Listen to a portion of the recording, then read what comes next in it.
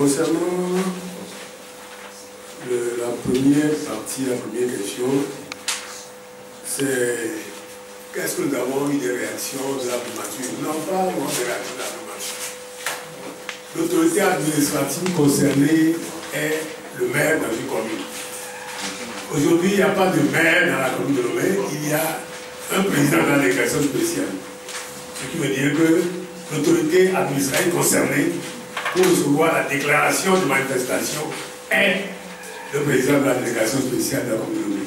Ce qui a été fait hier, laissez-moi le temps de réagir. C'est tout. de toute façon, moi, je ne vois pas quelle réaction ils peuvent avoir.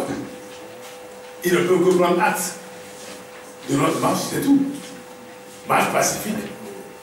Organisée pour protester, je ne vois pas ce qui, je, je ne vois pas quel peut être le problème dans ce cas-là.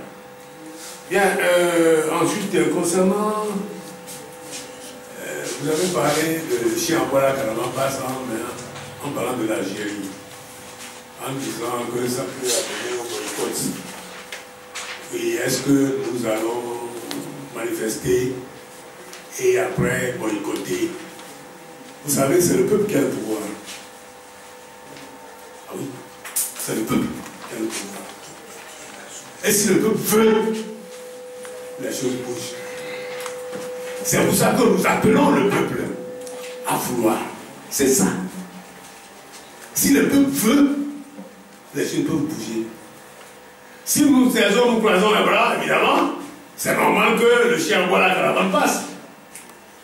Mais si le peuple se lève, comme nous le voulons, comme un seul homme, pour dire non, ça veut dire que le chien puisse aboyer, que la caravane passe.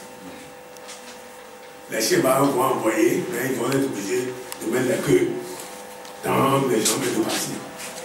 C'est comme ça.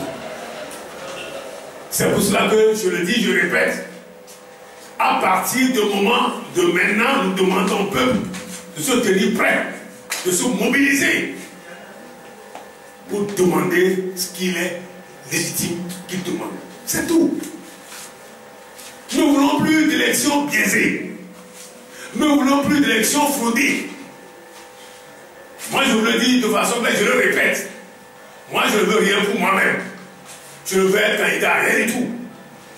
Mais je veux que ce pays soit paisible et que les choses se fassent dans les normes. C'est pour ça que je me bats. C'est tout. Et je ne souhaiterais pas qu'il y ait encore des élections dans ce pays où on parle de fraude. C'est pour cela qu'il faut qu'il y ait toutes les normes, tous les jalons, tout ce qui doit être mis en place pour qu'il n'y ait plus justement ces situations-là qui entraînent la violence. Lorsqu'il y a les fraudes, ça entraîne la violence nécessairement. C'est pour ça que nous ne voulons plus ces genres de choses. Nous ne voulons plus qu'en 2015, il y ait le moindre mort. Le moindre. Il y a eu 400 500 morts selon les Nations Unies. Nous, nous avons au niveau de la Ligue listé 1114 morts. Nous avons mis des noms sur 800 morts, 8 personnes. Nous ne voulons plus qu'il y ait un seul décès dans ce pays pour ces gens de raisons, pour les causes d'élection. Or, pour éviter ça, il faut nécessairement qu'il y ait des réformes. Qu'est-ce que ça coûte de faire des réformes pour des élections paisibles, comme dans dans pays normaux Pourquoi